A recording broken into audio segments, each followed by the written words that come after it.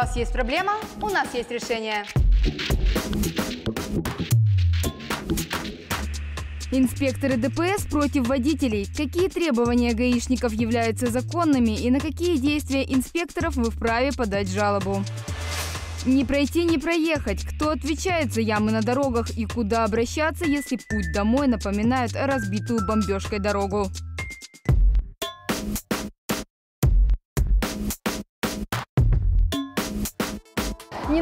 Взмах руки вас остановил инспектор ГИБДД.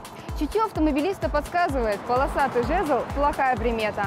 Сегодня я расскажу, какие основания для остановки считаются законными, как разговаривать с инспектором, если вы с ним не согласны, и что делать, если вас попросили проехать на медосвидетельствование. При остановке инспектором ДПС в первую очередь необходимо убедиться в безопасности маневра, включить сигнал поворота, включить сигнал аварийной остановки в случае, если остановка в этом месте запрещена.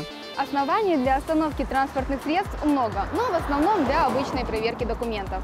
И если раньше останавливать авто могли только на стационарных постах ДПС, то с 2017 года правила изменились. И сейчас вас остановить могут где угодно. Итак, в первую очередь включите камеру на сотовом телефоне, видеорегистратор, диктофон, любое средство записи. Сотрудник ГИБДД обязан представиться, сообщить все свои данные. На груди инспектора должен быть специальный жетон. Такая скрупулезность необходима для того, чтобы инспектор понял, что вы юридически грамотный и записали его данные. Теперь он будет гораздо более сдержан и вежлив. Попросите гаишника предоставить его удостоверение. Это может избавить вас от многих проблем в дальнейшем. Чем не согласен-то, я не понимаю. Я не согласен с э, вменяемым мне нарушением. Ну, Я, надо ограничение установленной скорости на участке 50 километров. да, я, я ехал с этой скоростью. С той, Ну, которую видео, там... радар показывает другое. Значит, будем э, по месту моего жительства в группе разбора смотреть, э, выяснять, было нарушение, не А было. вы 1 июня Защитником э, решение Конституционного суда знаете? Я все решения 1 знаю, июня. поверьте, вот посмотрите. Я с этим работаю очень-очень подскажу. молодцы, давно. молодцы. Я не против, если вы знаете не меньше нашего. Дело в том, что с 1 июня 2009 года решение Конституционного суда, разбор по месту совершения административных правонарушений. Так, ну делайте. А я буду э, Согласен. вот этим вот кодексом. Вот здесь вот есть протокол административного правонарушения. Он составляется в тех случаях, когда я не согласен с правонарушением. Вы правы. Составляйте протокол, Вы я его подпишу. Да Э, и- Идти для этого в машину я не Да обязан. вас э, никто, вас попросили, не пошли, ради бога, мы Да, сами пришли. да. Я просто пришел побеседовать с вами, Вот. как старший наряд, в связи с тем, что э, камеру включили, что ли, снимаете. Всегда снимаю, да. Молодцы.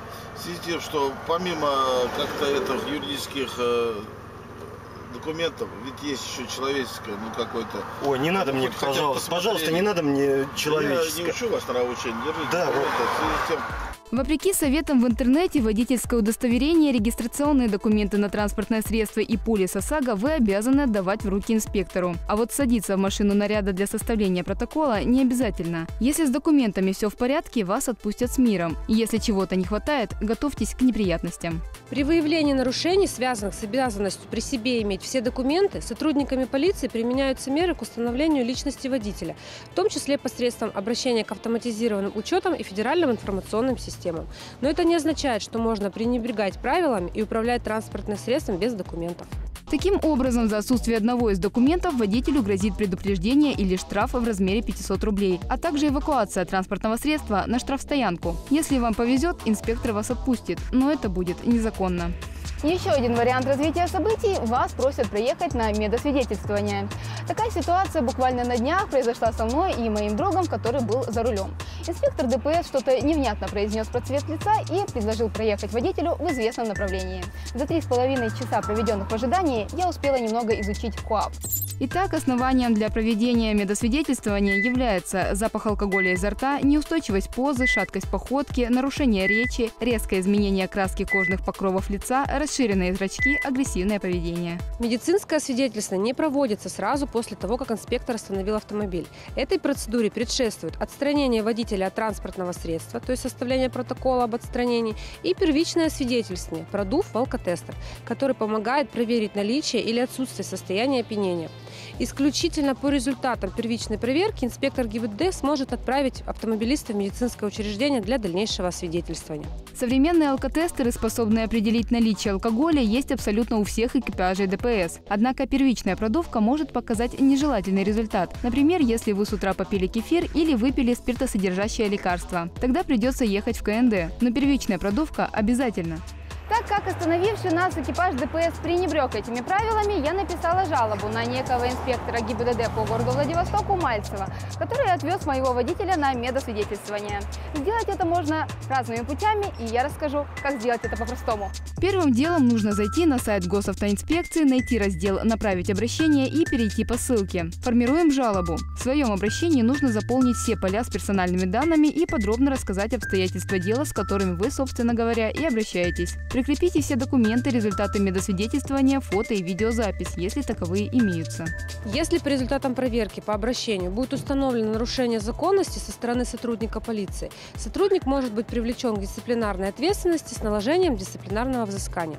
Обжалование принятых инспектором решений по делам об административных правонарушениях производится в порядке, установленном кодексом. Такая жалоба может быть подана в течение 10 суток со дня вручения или получения копии постановления и подлежит рассмотрению в 10-дневный срок со дня ее поступления. Подать жалобу можно и лично, приехав в отдел ГИБДД и написав заявление от руки, лично на имя начальника. Заявление необходимо написать в двух экземплярах, одно оставить секретарю. При этом попросите поставить на письме входящий номер и подпись. В случае, если ваше заявление затеряется, вы сможете предъявить второй экземпляр. Также можете отправить заявление заказным письмом. В этом случае вам необходимо сохранить квитанцию об оплате почтовых услуг. Жалоба рассматривается в 30-дневный срок. Кроме того, на всех автомобилях экипажей ДПС есть телефон горячей линии, по которому можно позвонить и выразить свое несогласие с ситуацией. В любом случае, лучше всего досконально знать положение КОАП и быть юридически подкованным человеком, чтобы общаться с сотрудником ГИБДД на равных. Итог моего случая – жалоба находится все еще на рассмотрении, но к ней отнеслись с вниманием. А ко мне, как участнику дорожного движения, с уважением. Чего я вам желаю?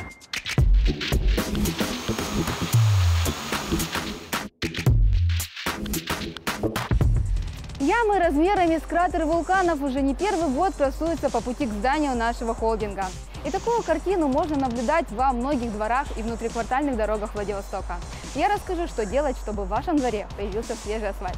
В первую очередь узнаем, в чьей собственности находится интересующий вас участок дороги. Для этого обращаемся к публичной кадастровой карте, о которой мы уже рассказывали в прошлых выпусках. Участок может принадлежать муниципалитету, организации, быть в частной собственности. Если участок принадлежит дому, как в нашем случае, обращаемся в управляющую компанию или ТСЖ. Ремонт будет производиться из тех средств, которые собирает управляйка или ТСЖ на содержание многоэтажки и придомовой территории. Такие вопросы обсуждаются на общем собрании собственников жилья. Если участок дороги относится к городским улицам, его ремонтировать должны власти. Следует написать коллективное письмо в администрацию. Лучше всего сделать два экземпляра, один из которых останется у вас на руках. Также можно написать обращение в интернет-приемной, приложив все фото и видео, сделанные накануне. Желательно приложить карту с обозначенным участком дороги, который требуется ремонт. На фотографиях желательно запечатлеть рядом стоящие дома с адресами. В том случае, если собственники или э, заинтересованные лица определились с назначением этой территории, с э, ведением, муниципальная эта территория или не муниципальная. Если муниципальная территория, безусловно, необходимо подготовить письменное обращение. Каждое письменное обращение регистрируется и учитывается в дальнейшей деятельности. После поступления обращения специалисты оценят территорию, сверят с той информацией, которой владеем мы, и поставим в свои планы. После того, как вы заявили о себе, нужно набраться терпения и молиться, чтобы вашу территорию включили в список дворов, подлежащих ремонту. Составляются определенные списки, исходя из э, приоритетов, исходя из реального состояния э, дорожного полотна на том или ином участке, того или иного проезда или той или иной улицы. Кроме того, принимается во внимание, э, скажем так, социальная значимость, наличие путей общественного транспорта и иные мероприятия. Слову, частные лица не имеют права ремонтировать ямы самостоятельно. Необходимы определенные технологии, материалы и так далее. Если просто засыпать яму щебенкой, то она может вылетать из-под колес и повреждать авто других участников дорожного движения, а также нанести вред здоровью людей. Но и оставлять дорогу в разбитом состоянии – это не гражданская позиция. Так что давайте добиваться результатов вместе.